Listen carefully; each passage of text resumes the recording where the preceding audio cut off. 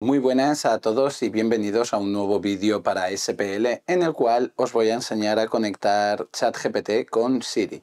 Y para ello vamos a utilizar una herramienta a través de los atajos de nuestro iPhone que es muy sencillo de utilizar. Pero primero pasemos a la intro.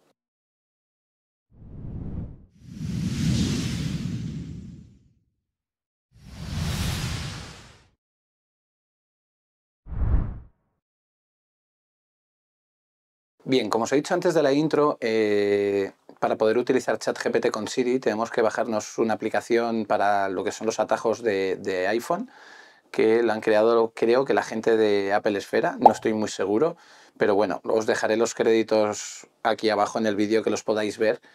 Y bueno, lo primero que necesitamos es entrar en, en nuestro ChatGPT y sacar lo que es la API Key, que aquí voy a hacer un disclaimer ya que, por ejemplo, yo con mi cuenta de ChatGPT no me dejaba utilizar estos atajos y me tuve que crear una segunda cuenta.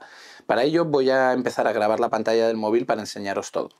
Bien, una vez que tenemos abierto nuestro navegador en el teléfono móvil, pues podríamos darle a login y si veis que no funciona con vuestras API keys, pues creáis una nueva cuenta, que es lo que me tocó hacer a mí. Desde aquí, pues creáis una cuenta y ya estaría. Una vez que os habéis logueado y habéis entrado con vuestra cuenta de ChatGPT, pues tenéis que ir a este enlace que os lo dejaré en la descripción del vídeo y una vez que estamos aquí dentro, pues ya vemos las keys que tenemos creadas. Yo tengo aquí un par creadas, si no la tuvierais, pues le daréis a crear una nueva, le ponéis el nombre que queráis, que yo le tengo puesto Siri, y ya nos daría la, API key. Con esa API key la copiamos y nos iríamos al siguiente paso.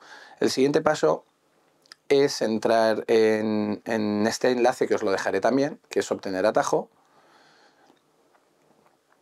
y aquí pues lo añadimos. Yo ya lo tengo instalado, que es justo el que tengo debajo, que lo tengo llamado GPT, que ahora os explicaré el porqué. Y una vez que tenemos aquí el de GPT, le damos a los tres puntitos y donde pone tu clave, pues aquí tendríamos que borrar este texto y añadir nuestra API key. Una vez que la tenemos con la API key, pues ya tendríamos el chat GPT activado para Siri.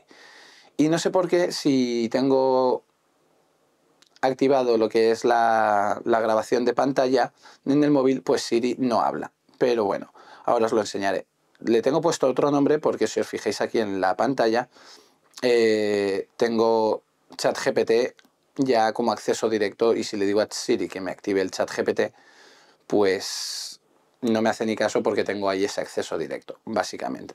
Bueno, ahora detengo la grabación del iPhone, ya que si no, no funcionaría y lo primero que voy a decir es, oye Siri, me activa Siri y le digo GPT. Hola, ¿qué puedo hacer por ti? GPT. Hazme una pregunta. ¿Qué puedes hacer por mí? Un momento.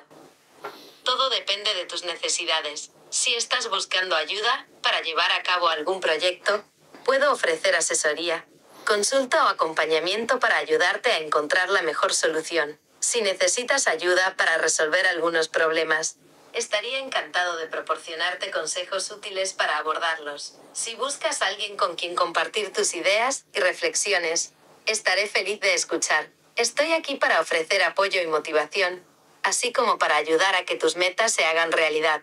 Hazme una pregunta. ¿Qué es ChatGPT? Un momento. ¿Qué puedes hacer por mí? No puedo hacer nada por ti para SAC GPT. Para eso tendrías que dirigirte a un profesional con experiencia en la gestión de proyectos. El profesional no solo podría ayudarte a cerrar el proyecto, sino también a darle el seguimiento adecuado a la planificación, controlar presupuestos, etc. Sin embargo, si necesitas información general sobre la gestión de proyectos, puedo ofrecerte recursos de ayuda.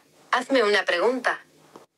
Bueno, pues como podéis observar, pues ya tenemos ChatGPT conectado con Siri y podríamos interactuar con él, así de fácil.